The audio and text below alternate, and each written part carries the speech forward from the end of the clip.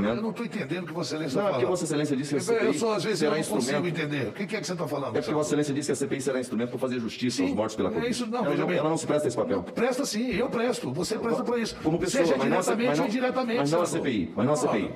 Mas não a CPI. Apenas para apenas para consignar. Outro aspecto, É, é justo, é justo as pessoas não terem a segunda dose para se vacinar. Outro aspecto, é senhor, presidente, CPI não vai garantir UTI, não vai garantir vacina, com todo respeito a Vossa Excelência. Outro aspecto, senhor presidente, é com relação à questão da suspeição. É, Não essa mais. discussão já foi, já foi, já foi definida pela mesa. Calma, senhor presidente, Vossa Excelência está nervoso. Não, não, Calma, não. presidente, respira. Marco, deixa eu dizer uma coisa. Respira, presidente. Deixa eu dizer uma coisa. Deixa- deixa eu manifestar coisa que eu minha- não estou nervoso. Só que você está desde o primeiro. Nós estamos há duas horas e meia aqui. E três ou quatro senadores aqui querendo não, não instalar. Qual é o medo da CPI? É o medo da CPI ou o medo do senador Renan? Me diga você, é medo da CPI ou o medo do senador Renan? Não, senhor presidente, eu não tenho medo Pois é, não estou entendendo. Não tenho medo o nenhum próprio senador. líder, seu líder, seu líder de governo, senador Fernando Bezerra, diz que não tem medo da CPI, que é da transparência.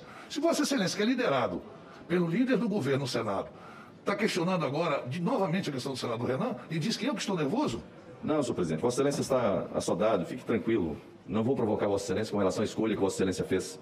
Vossa Excelência está passando o carro na frente dos bois. Calma. Quanto su-